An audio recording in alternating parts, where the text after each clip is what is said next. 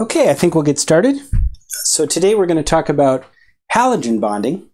This is another type of specific interaction uh, in the category of intermolecular forces. So it stands apart from the generic in intermolecular forces, much the same way as halogen or as hydrogen bonding we talked about last time. While it's not as prominent as uh, hydrogen bonding, of course, uh, it is a good example, and uh, uh, unfortunately, it doesn't really make it into the Gen Chem textbooks, so you probably you won't see it in the whatever Gen Chem textbook you're looking at. So I thought I'd talk about it here to give another example of a force similar to hydrogen bonding, where uh, the types of elements involved, or the types of molecules involved, and how they interact, the angles and the distances are important uh, rather than generic, like with other um, intermolecular forces. So this occurs between halogens and hydrogen bond acceptors, acceptors being those that want to accept the H and donate their electrons to the hydrogen bond, or the halogen bond. So, for example, uh, water um, ni nitrogen fluoride uh, compounds as well can uh, hydrogen bond, so then they can halogen bond. Here's a typical interaction of this uh, trifluoro iodo methane, and uh, we're seeing a uh, halogen bond between the iodine and the oxygen. And what happens, uh, particularly for uh, the heavier halogens like iodine, uh, is that there is an electron withdrawing through the sigma bond into the sigma bond here that leaves on what's called the distal side or the other side of that bond. So I'm going to blow up on here a region of electropositivity. So a partial positive region. So we often think about the halogens as being electronegative, but the backside of this sigma bond, particularly if there is a strong withdrawing groups over here, then will expose the nucleus, leaving uh, a partial positive region. And that is called a sigma hole. So the sigma hole appears on the distal side of the bond uh, for iodine in this case. There's a more of a richness actually to halogen bonding than there is to hydrogen bonding.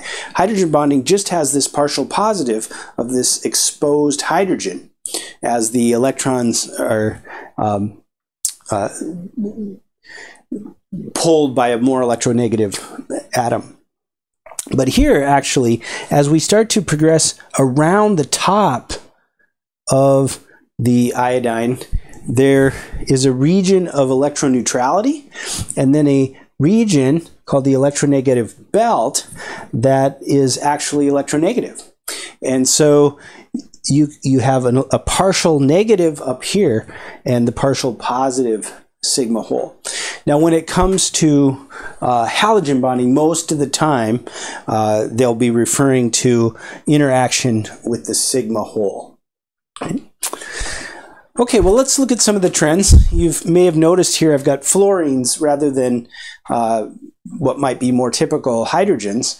And uh, again, this is due to the mechanism. If we have very electronegative system back here, that will pull more of the electron density. So these fluorines will be pulling electron density through sigma bonds away from the carbon, which will make the carbon want to pull more away from the iodine and leaving a larger, more pronounced sigma hole. So as we compare the size of the sigma hole or the strength of the sig, uh, yeah, the strength of the sigma hole, um, and hence the potential for a strong halogen bond, uh, this compound with the fluorines, the much more electronegative fluorines, than this compound with the much less electronegative hydrogens will have a much stronger sigma hole and have a much more energetically favorable uh, halogen bond with, say, water or ammonia, any, any of the regular hydrogen bond acceptors. Now, the other thing is polarizability. So as we go down the table in the uh, uh, halogens, uh, two things happen. One, we get a, a, bit of a longer bond here. We become less electronegative and more polarizable. So uh, the the upshot of that is again this mechanism that withdraws through the sigma system and exposes that distal side will be more pronounced in iodine. Uh, than bromine, then chlorine, and fluorine.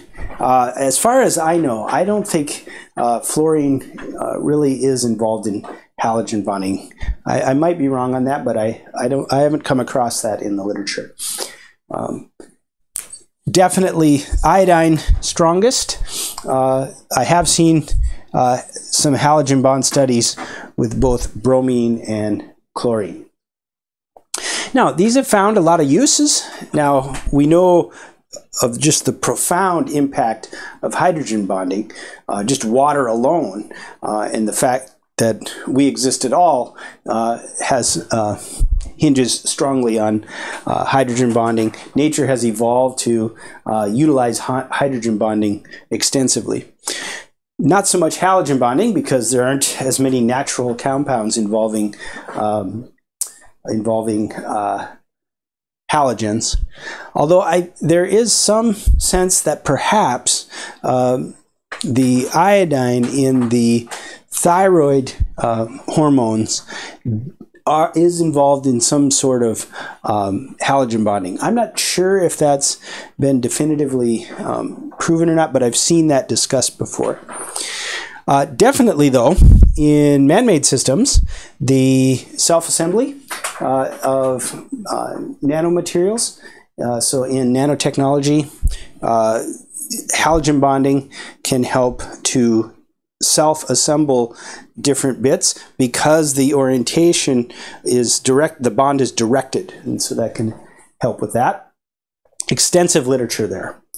Uh, in fact it's it's the largest body of literature for uh, halogen bonding but also in biology uh, there's some interesting applications with uh, artificial nucleotides. So um, we know that nucleotides in dna interact via hydrogen bonding but that can be these can be synthesized to include iodines and other and bromines, I believe, uh, to uh, become nucleotides and actually um, be incorporated into uh, bits of DNA. So some very interesting work being done there.